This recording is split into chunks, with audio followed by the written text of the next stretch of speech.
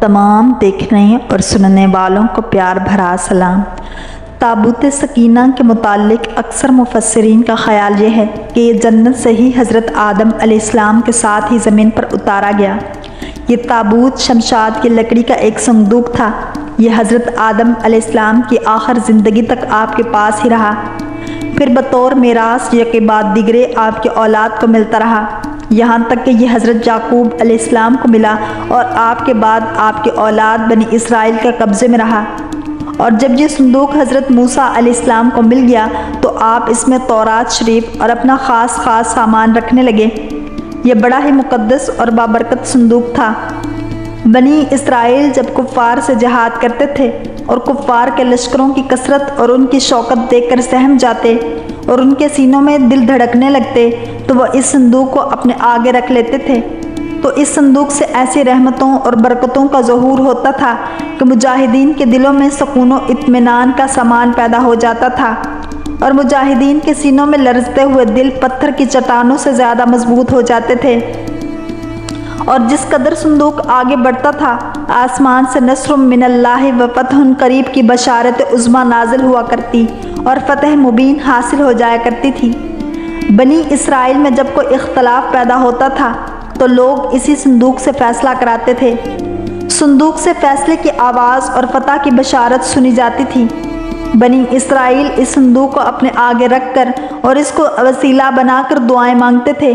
तो उनकी दुआएँ मकबूल होती थीं और बलाओं की मुसीबतें और वबाओं की आफतें टल जाया करती थीं।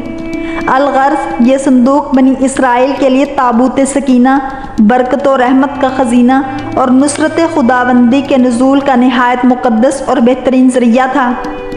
मगर जब बनी इसराइल तरह तरह के गुनाहों में मुलवस हो गए और उन लोगों में मासी और तुगयान और सरकशी और इसियान का दौर दौरा हो गया तो उनकी बदआमालियों की नहूसत से उन पर खुदा का यह गज़ब नाजिल हो गया कि कौम अमालका के कुफ़ार ने एक लश्कर जर्रार के साथ उन लोगों पर हमला कर दिया। उन काफरों ने बनी इसराइल का कत्ल आम करके उनकी बस्तियों को ताख्त ताराज कर डाला। अमारतों को तोड़ फोड़ कर सारे शहर को तहस नहस कर डाला और उस मुतबरक संदूक को भी उठा कर ले गए। इस मुकदस तबर्रुक को नजास्तों के कूड़े खाने में फेंक दिया, लेकिन इस बेअदबी का कौम अमालका पर यह बबाल पड़ा कि ये लोग तरह तरह की बीमारियों और बलाओं में मुबतला कर दिए गए। चुनाचे कौम अमालका के पाँच शहर बिल्कुल बर्बाद और वीरान हो गए। यहाँ तक कि उन काफरों को यकीन हो गया कि ये संदूक रहमत की बेअदबी का अजाब हम पर पड़ गया है। तो उन काफरों की आँखें खुल गईं। चुनाचे उन लोगों ने उस मुकद्दस संदूक को एक बैलगाड़ी पर लाद कर बैलों को बनी इसराइल की बस्तियों की तरफ़ हाँक दिया। फिर अल्लाह ताला ने चार फरिश्तों को मुकर्र फरमा दिया, जो उस मुबारक संदूक को बनी इसराइल के नबी हज़रत शमोल अलैहिस्सलाम की खिदमत में लाए। इस तरह फिर बनी इसराइल की खोई हुई नेमत दोबारा उनको मिल गई और ये संदूक ठीक उस वक्त हज़रत शमोल अलैहिस्सलाम के पास पहुँचा, जबकि हज़रत शमोल अलैहिस्सलाम ने तालूत को बादशाह बना दिया था और बनी इसराइल तालूत की बादशाही तस्लीम करने पर तैयार नहीं थे। और यही शर्त ठहरी थी कि मुकद्दस संदूक आ जाए तो हम तालूत की बादशाही को तस्लीम कर लेंगे। चुनाचे संदूक आ गया और बनी इसराइल तालूत की बादशाही पर रजामंद हो गए। कुरान मजीद में खुदाबंद कुद्दूस ने सूरतुल बकरा में इस मुकद्दस संदूक का तस्करा फरमाते हुए इरशाद फरमाया कि और उनसे उनके नबी ने फरमाया, उसकी बादशाही की निशानी ये है कि आए तुम्हारे पास ताबूत जिसमें तुम्हारे रब की तरफ़ से दिलों का चैन है। और कुछ बची हुई चीज़ें हैं। मुआज़ मूसा और मुआज़ हारून के तरका की।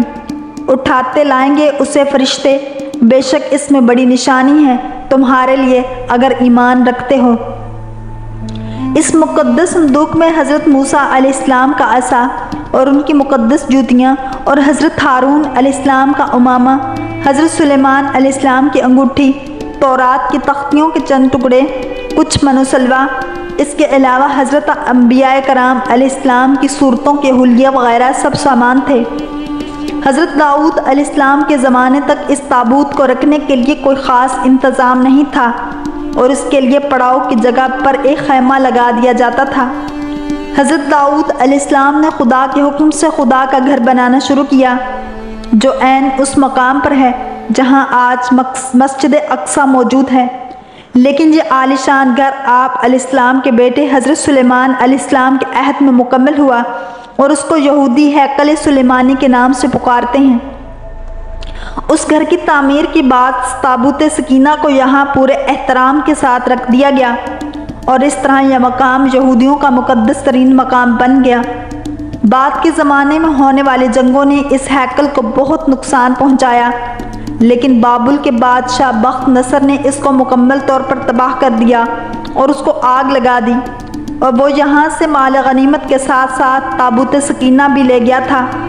इस तबाही के नतीजे में आज असली हैकल की कोई चीज़ बाकी नहीं है। इन तमाम तबाहियों के नतीजे में ताबूत सकीना कहीं गायब हो गया और उसका कोई निशान नहीं मिला। आज भी बहुत सारे माहिर आसार कदीमा और खसूस यहूदी मज़हब से ताल्लुक़ रखने वाले माहिर उसकी तलाश में सरगर्दा हैं, ताकि इसको ढूंढ कर वो अपनी उसी रूहानियत को वापस पा सकें, जो कभी उनको अता की गई थी।